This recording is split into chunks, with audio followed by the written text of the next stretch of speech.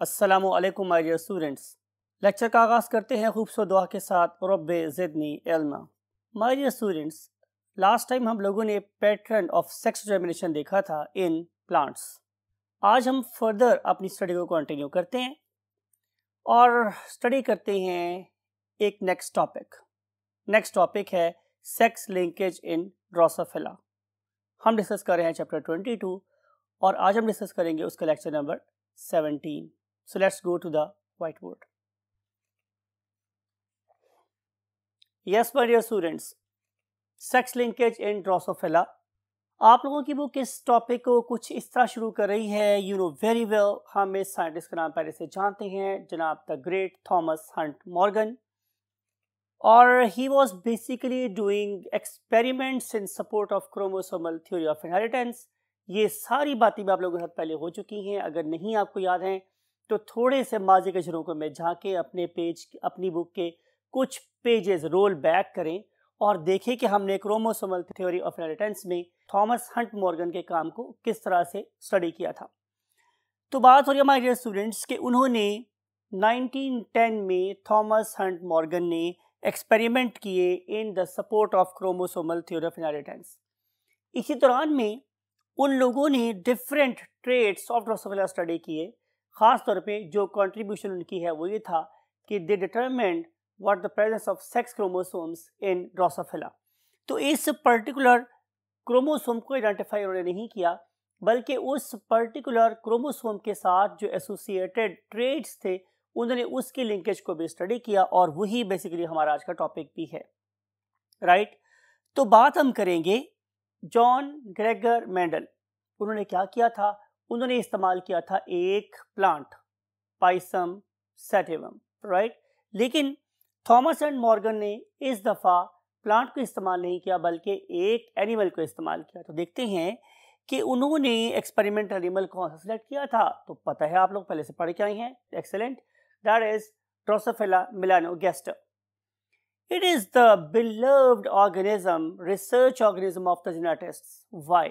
इसको स्टार्ट किया था थॉमस एंड मॉर्गन ने लेकिन अब भी जेनेटिक्स का एक बहुत ही महबूब ऑर्गेनिज्म है to carry out the process of research in terms of genetics आखिर ड्रोसोफिला ही क्यों तो उसकी कुछ रीज़न है जो आपकी बुक के येलो बॉक्स में गिवन है उनको हम स्टडी करते हैं तो जो सबसे पहली बात हमारे स्टूडेंट्स कि अगर आप इस पर्टिकुलर वीडियो को देखें तो आपको नज़र आ रहा है कि देर आर सम फ्लाइज जो इन रॉटिंग फ्रूट्स के ऊपर होवरिंग कर रही हैं, मुंडला रही हैं रोम अबाउट ठीक है फ्लाई हेयर एंड देयर और, अगर आप देखिए तो ये आपको हर किसी ऐसी जगह पे नज़र आ सकती है जहाँ पे फ्रूट का बिज़नेस हो रहा है, ये फ्रूट मंडी भी हो सकती है, कोई फ्रूट की दुकान भी हो सकती है ऐसा भी हो सकता है कि फ्रूट बास्केट जो आप अपने किचन में रखी हुई है, उसके ऊपर भी आपको ये वाली फ्लाई मंडलाती हुई नज़र आ सकती है।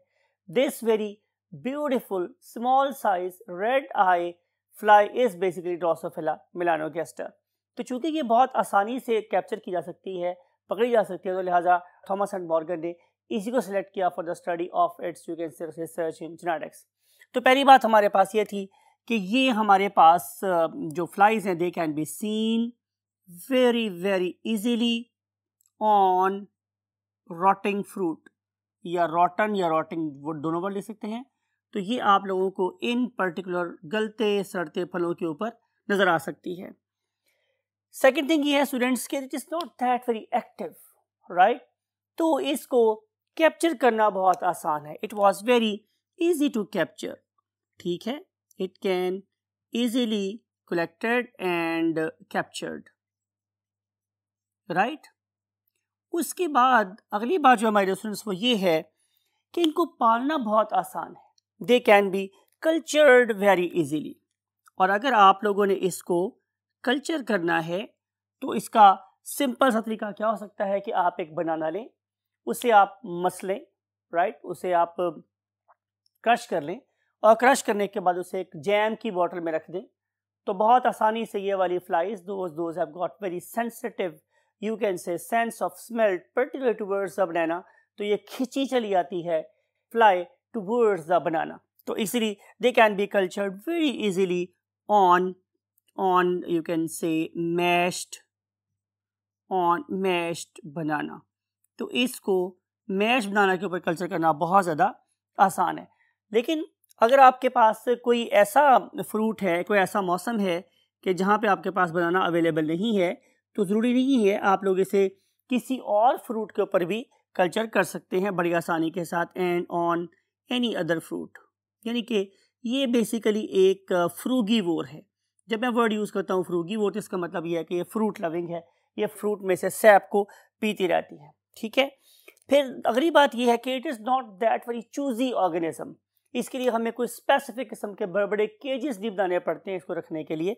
बल्कि सिंपली जैसे मैंने बोला, आप एक मैश बना लें और आप उसे जैम की बॉटल में या मामलेट की बॉटल में रखें तो ये आसानी से हैप्पीली ग्रो करती है। उसको कोई ऐसी प्रॉब्लम नहीं होती। तो ये लिखते हैं बात यहाँ पर। Cat lives very happily cat lives very happily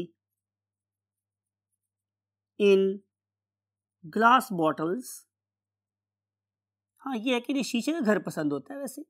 Glass bottles of jams and marmalades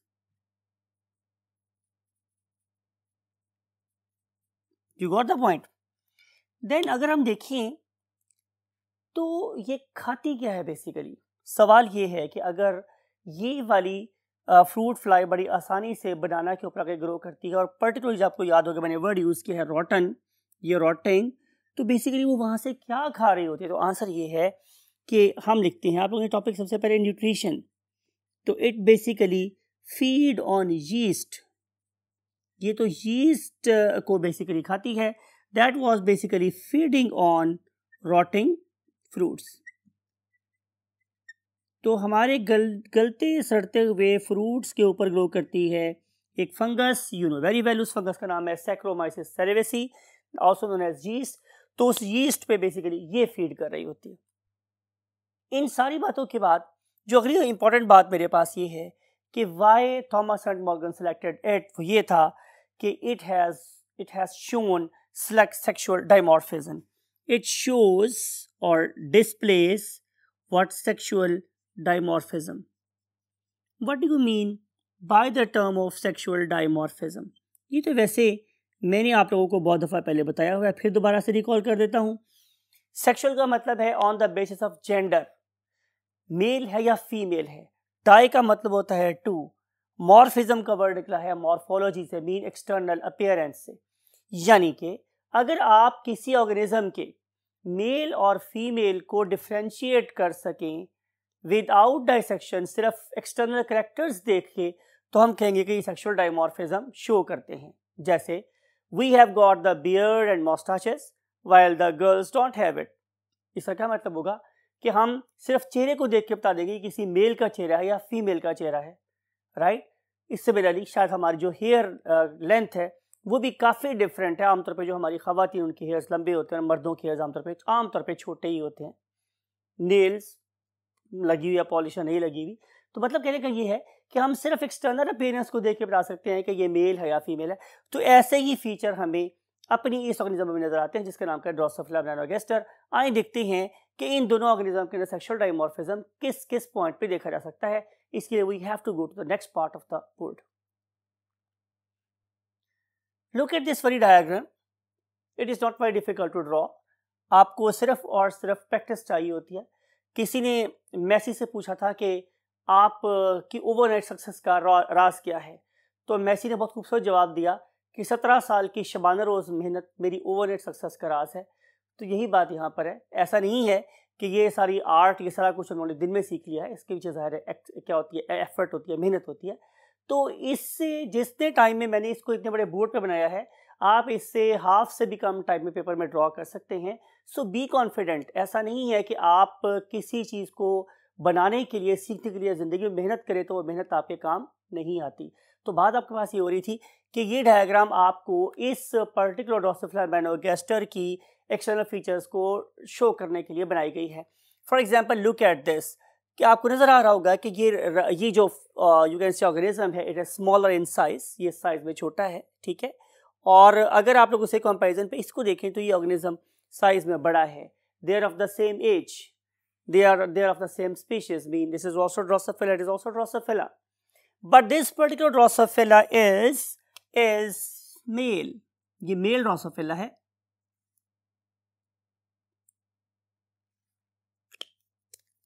It is a male drosophila और जहाँ तक बात है इसके नेबर की तो नेबर में इसके हमसाय में एक फीमेल ड्रोसोफिला रहती है right this is here this is a female drosophila अब आप देख सकते हैं कि जो मेल ड्रोसोफिला है, वो साइज़ में छोटा है और फीमेल ड्रोसोफिला जो है साइज़ में बड़ी होती है। इनका जो अप्रॉक्सीमेट साइज़ है it is approximately you can say three millimetre ये थ्री मिलीमीटर का होता है इससे थोड़ा सा ही ज़्यादा लंबी हमारी फीमेल होती है। Can you find any the difference perfect आपने बिल्कुल सही कहा है कि अगर आप इसके एबडामिन की एंड को देखेंगे तो it is bit rounded unlike female आप फीमेल के एबडामिन के एंड को देखें तो it is very much pointed तो आप इन दो डिफरेंसेस को देख के बता सकते हैं कि ये मेल है या फीमेल है। पहला क्या था? मेरे पास साइज़ मेल छोटा होगा फीमेल बड़ी होगी। मेल का जो एबडामिन है, वो क्या है? राउंडेड होता है, लेकिन जो फीमेल का एबडामिनल एंड है इट इज़ पॉइंटेड वन फिर तीसरा डिफरेंस जो आपको यहाँ पे नज़र आ रहा है, वो ये है कि इस पर्टिकुलर मेल के सबसे आगे वाले एंटीना पे एक सेक्स कॉम लगी हुई होती है, जो डेफिनेटली आपको यहाँ पे नज़र नहीं आ रही। It may be use perhaps for the grabbing of the organism और इसके अलावा अगर आप देखेंगे तो एक और डिफरेंस आपको नज़र आएगा कि जो हम यहाँ शो नहीं कर पाए तो आपको इस वीडियो में दिखा रहे हैं कि मेल के पास स्पेसिफिक किस्म के क्या होते हैं विग्स होते हैं, जिसे वो स्पेसिफिक वे में वाइब्रेट करवा के स्पेसिफिक किस्म का म्यूज़िक बजाता है। और इसके अलावा वो उसके सामने टिपिकल किस्म का डांस करता है। This behaviour is called as a courtship behaviour और उसके बाद यू कैन से कि जनरेशन नेक्स्ट स्टार्ट होती है। तो ये जो फीचर है presence of very very specific wings ये सिर्फ़ और सिर्फ़ मेल में नज़र आते हैं हम लोगों को फीमेल में नज़र नहीं आते। फिर इसके अलावा अगर आप देखें तो आपको ये बात भी नज़र आएगी कि ये जो ऑर्गेनिजम्स होते हैं, ये चूँकि टिपिकल इंसेक्ट हैं तो इनके पास anterior part is called as a head second part is called as a thorax and last part the largest one is basically abdomen and these are basically segmented one नज़र आते हैं हम लोगों को। Uno के अंदर से सेगमेंट नहीं होता इसका। लेकिन इसके ऊपर ज़ाहिर एक कार्टनस प्लेट्स होती हैं एबडामिन के ऊपर भी right you know this thing very well और इसके अलावा ये है कि इसके अंदर हमारे पास यूजुअली कंपाउंड आइज़ होती हैं। और जो कंपाउंड आइज़ हैं their usual colour is you can say what red आमतौर पे इनका कलर रेड होता है। लेकिन अगर इसमें म्यूटेशन हो जाए तो वो जो रेड आई कलर है, वो वाइट आई में कन्वर्ट भी हो सकता है, इसके बारे में इंशाल्लाह हम कल आपसे डिटेल में बात करेंगे। तो लिखते हैं आप लोगों के लिए कि सबसे पहली बात जो है, वो मेरे पास क्या है कि दे डिस्प्ले और वर्ड सेक्शुअल डाइमॉर्फिज्म और जो मेरे पास सेक्शुअल डाइमॉर्फिज्म है, उसकी बेस क्या है? Number one thing is the size, के पहली जो फीचर है, वो मेरे पास साइज़ है। तो अगर मैं साइज़ की बात करूँगा तो that very male is of small size इसका साइज़ छोटा होता है। और जहाँ तक ताल्लुक़ है मोहतरमा का फ़ीमेल का तो her size is bit larger तो इसका साइज़ बड़ा होता है राइट. फिर अगर आगे हम चलेंगे तो you can see the difference in their abdomens कि अब जो मेल है it has got a rounded abdomen और जहाँ तक ताल्लुक़ है फीमेल का फीमेल का एबडामिन कैसा होता है पॉइंटेड यू कैन सी मैंने आपको डिटेल से डिस्कस कर दिया है और जो थर्ड बात है मेरे पास, कि जो सेक्स कॉम है सेक्स कॉम है it is present only in male ये सिर्फ़ और सिर्फ़ मेल में प्रेजेंट होती है। अगली बात जिसकी वजह से थॉमस एंड मॉर्गन ने ड्रोसोफिला बैनोगेसर को सेलेक्ट किया था, वो क्या था? Very very brief generation time generation time का मतलब ये है कि अगर एक ऑर्गेनिज्म की हैचिंग अंडे से हुई है तो वो दोबारा अंडे देने तक का जो टाइम है it is called generation time it includes everything आपने बहुत डिटेल से पढ़ा है। डेवलपमेंट एंड ग्रोथ वाला टॉपिक राइट तो बात हुई जनरेशन टाइम की। जनरेशन टाइम आप लोगों की बुक कहती है it is approximately two week आपकी बुक लिखती है कि it is approximately two week लेकिन मैंने डिफरेंट uh, और जगहों से ये भी पढ़ा है कि इसका जनरेशन टाइम एक मंथ तक भी हो सकता है। तो आप लोगों की बुक चूँकि अप्रॉक्सीमेटली टू वीक लिख रही है तो आप इसी को स्टार लगाएँगे और आप इसी को फॉलो करेंगे। Generation time is approximately two week एक और वजह एक और वजह जिसकी वजह थॉमस एंड मॉर्गन ने इसको सेट किया था वो था this particular female definitely after you can say fertilization lay large immensely large number of fertilized eggs large number of fertilized eggs ये इंपॉर्टेंट बात है इसका थॉमस एंड मॉर्गन को क्या फ़ायदा था इसका फ़ायदा माई डियर स्टूडेंट्स ये होता है कि जितने ज़्यादा आप लोगों के पास नंबर ऑफ़ ऑब्जर्वेशंस होती हैं, हमारी स्टैटिस्टिक्स ये बोलती है कि डाटा उतना ही ज़्यादा रिलायबल होता है। राइट अगर मेरे पास पढ़ाने के लिए सिर्फ़ दो स्टूडेंट हों और उनमें से एक स्टूडेंट खुदा खास्ता फेल हो जाए और एक कामयाब हो तो मेरा रिज़ल्ट होगा fifty percent on the other hand अगर मेरे पास हंड्रेड स्टूडेंट हैं और उसमें से दस भी फेल हो जाए तो मेरा रिज़ल्ट होगा नाइन्टी परसेंट आई थिंक आप कोशिश करेंगे मैं क्या कहना चाह रहा हूँ। तो जितना ज़्यादा बड़ा डेटा होगा, उतनी ही ज़्यादा मेरे पास एथेंटिसिटी होगी to explain the effort of the organism और effort of mind in the terms of my class तो बात हो रही थी कि ये एग हो एग ले करते हैं लार्ज नंबर उनको कलेक्ट करना भी डेफिनेटली आसान होगा, उस पर रिसर्च करना भी उन आसान होगा, उनमें से अगर कुछ मर भी जाएँगे तो मेरी जो रिसर्च है वो रुक नहीं जाएगी. तो इतनी ज़्यादा नंबर ऑफ़ फर्टिलाइज एग होने का ये फ़ायदा होता है. फिर हम चलते हैं अगली बात पर कि सिर्फ़ और सिर्फ़ फर्टिलाइज एग को ले करने के बाद इनको रेस करना मीन इन से आगे जो हैचिंग का जो प्रोसेस होता है it is again not that that much attention you can say seeking ये नहीं होता कि हम बहुत ज़्यादा तवज्जो दें, बड़ा अच्छा इन्वायरमेंट प्रोवाइड करें नॉट एट ऑल ये एक बहुत वाइल्ड ऑर्गेनिज्म है तो ये बहुत रफ एंड टफ इन्वायरमेंट में भी सक्सेसफुल हैचिंग करता है और उसके बाद उन पर्टिकुलर जो हैचिंग्स हैं, उनके अंदर भी हम चूँकि वो लार्ज नंबर है, हम अपने मुख्तलिफ़ जो पैरामीटर्स हैं स्टैटिस्टिक्स के, उनको अप्लाई करने के बाद एक रिलायबल रिज़ल्ट तक पहुँच सकते हैं। अब हम मूव करते हैं नेक्स्ट थिंग में और देखते हैं कि थॉमस एंड मॉर्गन ने और क्या देखा। So let's move to the next one third of the board yes my dear students बात आपसे कर रहे हैं कि this organism is very very perfect for genetic study. उसकी अगली रीज़न मेरे पास क्या है, लिखा है मैंने आपके लिए। प्रॉपर यहाँ पे एक हेडिंग लगा दिया है कि it is a very very perfect organism for genetic study. आप पूछेंगे वाई आखिर ऐसा क्यों है? दो बार तो आपको बता दी हम लोगों ने, लेकिन हम इस वक्त इस वक्त हम फोकस कर रहे हैं अपने ट्रेड्स को। आपको याद है कि हम लोग हमेशा कंट्रास्टिंग ट्रेड्स को फोकस कर रहे होते हैं। टॉल वर्सेस डुआफ हम फोकस कर रहे होते हैं। Red eye versus white eye हम फोकस कर रहे होते हैं apical flower versus what axillary flower हम देख रहे होते हैं constricted pod versus inflated pod तो हमारे लिए परफेक्ट ऑर्गेनिज्म वो होगा कि जिसके पास more number of contrasting traits होंगे.